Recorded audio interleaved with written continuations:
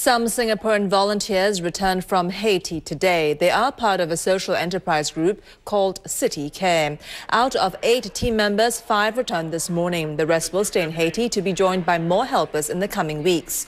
Volunteers describe the disaster zone as a big slum with people sleeping on streets alongside rats and cockroaches. They also say medical facilities are very poor. One woman they treated had her upper body trapped in the rubble to see her face all smashed up and swollen up with, and, and um, you know, disfigured with wounds and uh, with uh, maggots crawling out, I think that's quite quite a sight to, to you know, to that we will never forget. And uh, it's something that to perhaps remind people how severe the, the, the injuries can be.